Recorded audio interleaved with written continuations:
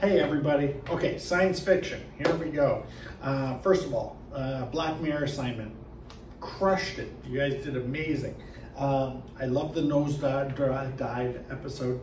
I think it's great. It just shows the risks associated with social media as well as the power. Um, amazing how many of you like to be a little diplomatic in the sense of like, well, goods and bads and true. But overall, don't be afraid in this course to give an opinion. If you believe it's wrong, even if it's against social norms, not going to hurt you great. I take no offense, so please don't be afraid to be open. The idea to this course is to make sure that you have an opportunity to really think and dive into these ideas, okay? Nosedive's a great episode for me because it's that classic hamster wheel concept where it's like you're fighting so hard to make something happen and then when it goes off it can go off the rails pretty quick and it can feel like it's destroying your life but I love the ending of that episode when they can sort of see like after they took the stuff out of her eyes and she's you know commenting back and forth with the other person they're being honest and open for the first time in a long time. Um, but also the effects of the you know seeing the particles in the air and stuff uh, it just shows how we get too caught up. Um, now part of the reason this is so interesting for me is many of you grew up basically on technology since your birth or close to it. So for a lot of you, the concept of getting rid of social media and stuff like that just seems like impossible.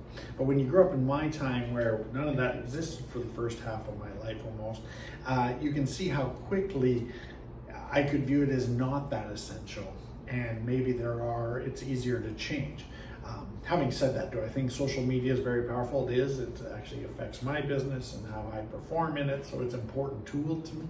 Um, but on the other side of the coin, being careful that you don't do it just for social norms or that you understand that maybe it limits research and stuff like that. Like just because someone says something doesn't mean it's true. For example, there was a recent uh, girl that became quite famous on TikTok, which now there's all these memes out about, uh, and uh, was being interviewed by this gentleman, and she just had these two words she put together, which I'm assuming you know what they are. Uh, and uh, people really engaged with her and she blew up. But then all the false stories that her dad was a pastor and upset at her not true. Um, that she was a teacher also not true. You know stuff like that where they actually finally did a real interview with her and cleared the air. Um, but it was just really interesting because uh, it's amazing how easy it is to create false content and understanding how to verify that false content or do your own research and how important that is is a good example of where social media is important. This whole five star rating system is good and bad, like people, most people said, and I agree.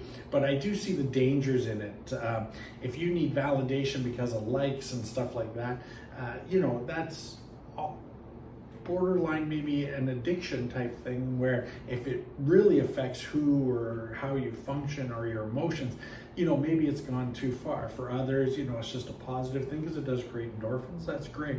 But you can also see when, you know, someone gets on the more hate side of it, how dangerous it can be. So please be careful out there. Please enjoy it. Thank you for your honest feedback on it. Honestly, that was great. Movie reviews. Again, great job, everyone. Uh, uh, Space Odyssey, uh, Johnny Mnemonic, um, uh, Ex Machina. Um, uh, those are three I can think of off the top of my head. Uh, I think I'm missing one too in there. Anyway, I apologize just top of my head, but I thought they were great. I enjoyed people's feedback and their logic. Uh, Johnny Mnemonic, uh, Johnny Mnemonic, for example, was fun because a lot of people got to see a movie that they really probably hadn't seen and wouldn't have seen, and it has some really good predictions and some really bad ones. I thought that's a really fun. Oh, Back to the Future, sorry. Number two was the other one.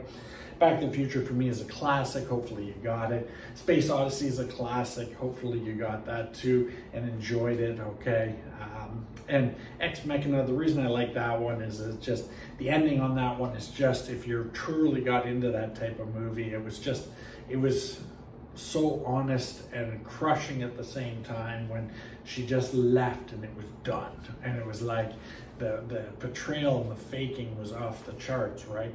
And uh, so I thought it was really good. And I like some people's detail on how they submitted about that. They talked about the different uh, tests in the sense of robotics and whether you can tell it's a robot. I love that concept uh, in the sense of them talking about it not being accurate because of course she knew she was a robot.